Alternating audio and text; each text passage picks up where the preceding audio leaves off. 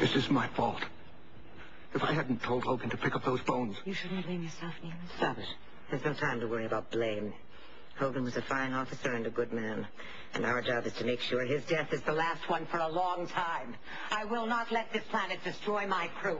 Kes, see to it that everyone knows the tunnels are off limits. I want clear safety protocols established. Mr. Tuvok, we need weapons. I have already begun to design some rudimentary devices, Captain. What's our food and water status? I know it sounds grisly, but I can make solar stills with the material from this uniform. We could have water tomorrow. Do it. Captain, none of the search teams were able to find plants of any nutritional value.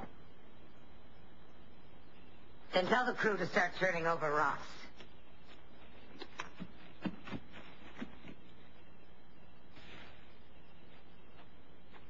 If anyone balks at eating these, tell them it's an order from their captain.